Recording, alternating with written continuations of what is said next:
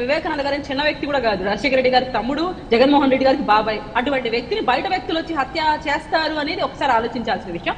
మరొకటి ఏంటంటే ఇటువంటి అబద్ధాలు చెప్తే రాష్ట్ర ప్రజలు నవ్వుకుంటారనే విషయం కూడా పాపము మనం అధికార ప్రతినిధులు కావచ్చు వైసీపీ నాయకులు కానీ ఏమనలేము సార్. వాళ్ళు అష్ట కష్టాలు పడుతున్నారు కవర్ చేయలేక. హత్యోడో చేశాడు కష్టపడడం వీళ్ళు పడుతున్నారు పాపం సాక్షాత్తు. వీళ్ళ మీద నిజంగా జాలు ఉంది.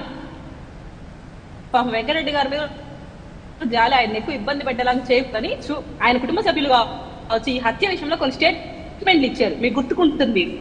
వెంకటరెడ్డి గారు సాక్షాత్తు గుండెపోటని విజయసాయి రెడ్డి గారు చెప్పారు. తర్వాత రక్తం కక్కుని వచ్చారేమో అనుకున్నాము అని అవినాష్ గారు అన్నారు. చంద్రబాబు నాయుడు గారే చంపారు. సిబిఐ విచారణ చేయమని చెప్పి జగన్మోహన్ రెడ్డి గారు అన్నారు. ఇవన్నీ ఎన్నికలకు ముందు స్టేట్మెంట్ సార్.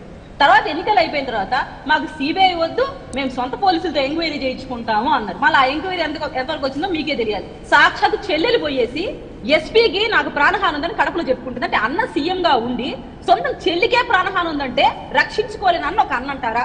తన బాబాయ్ హత్య నాలుగేళ్ళు అవుతున్నా ఇంతవరకు ముందుకు పోకోకుండా సొంత కుటుంబ సభ్యులే ఈ రోజు హత్య